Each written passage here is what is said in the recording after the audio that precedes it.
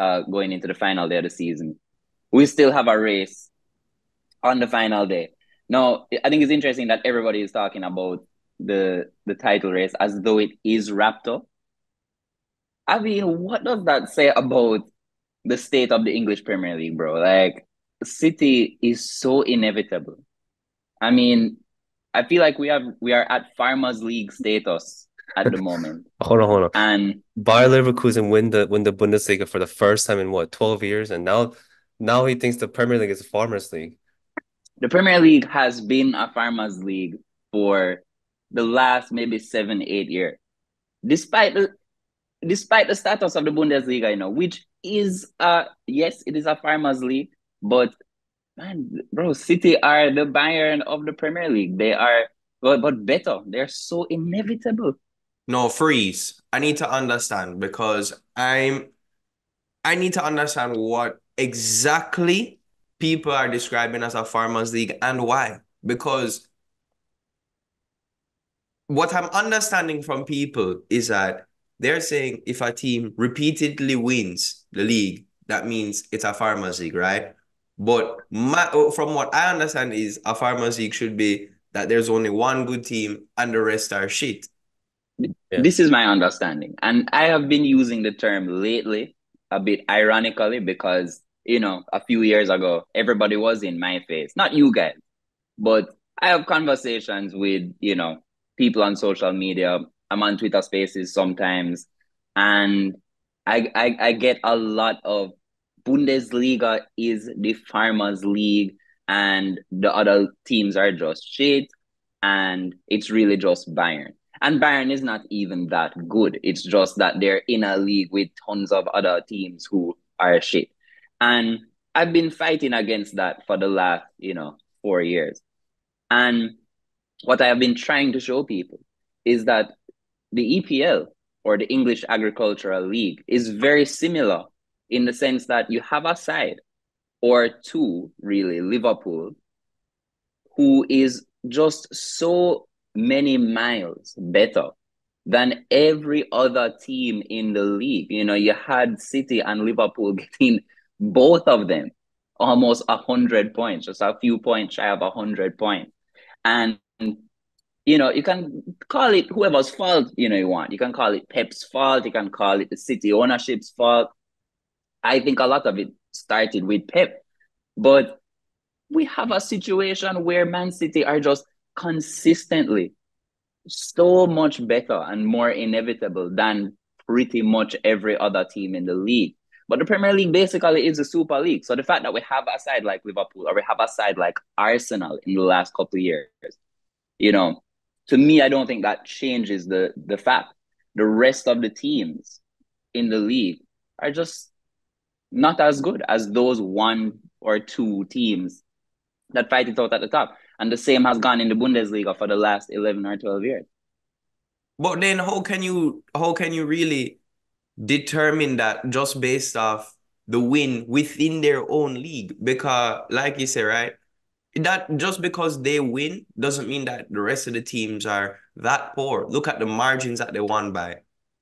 That is what I have been trying to tell people when they come back at me and say the Bundesliga is a farmers league, I say to them, you can't just say that teams in Germany are shit because Bayern has won the title 11 years in a row. Bayern Munich are a super team, just like Man City.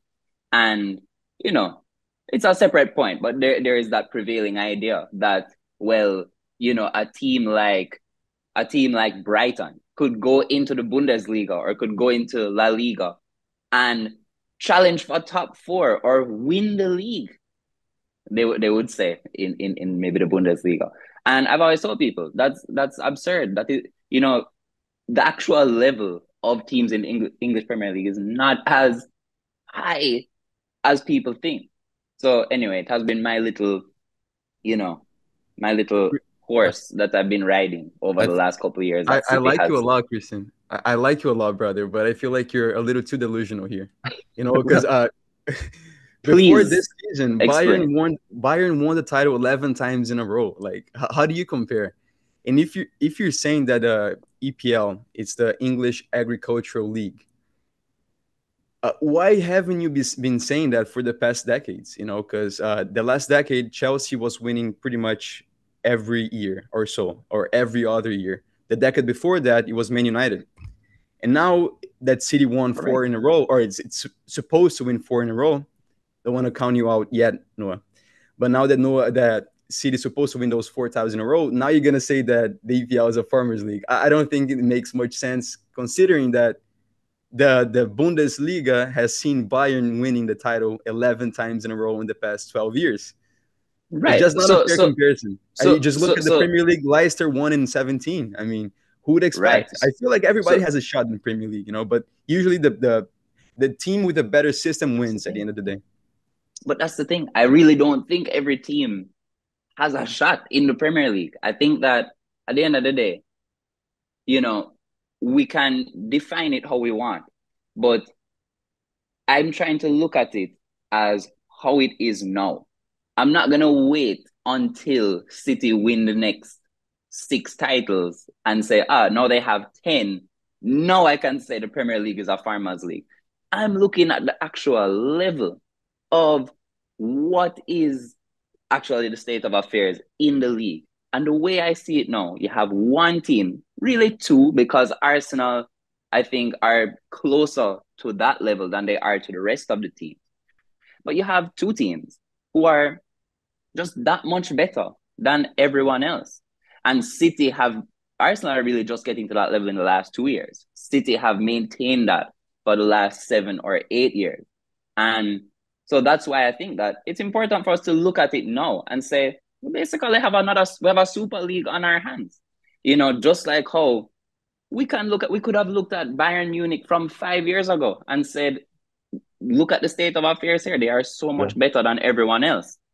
But what happens is, and what I fight against, is when people look at that and say, aha, the teams elsewhere other than England are actually just you know, they're just crap. They're just made up of a bunch of part-time footballers. And I tell people this is not the case.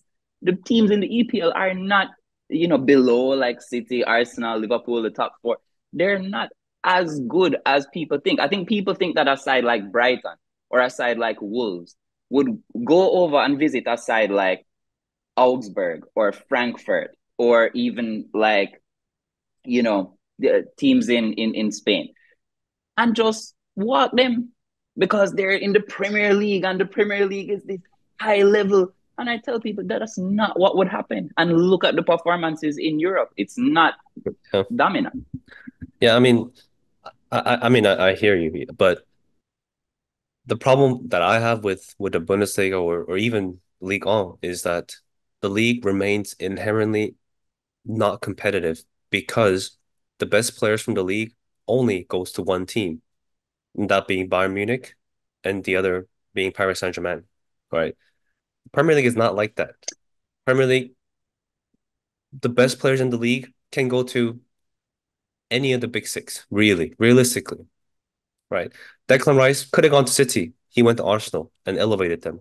Right, so that that's where the, the, the league for me remains inherently un- not competitive because players, the best players, only literally only go to one team, and that's uh, that's probably what led them but, to the to the dominance over, over the past.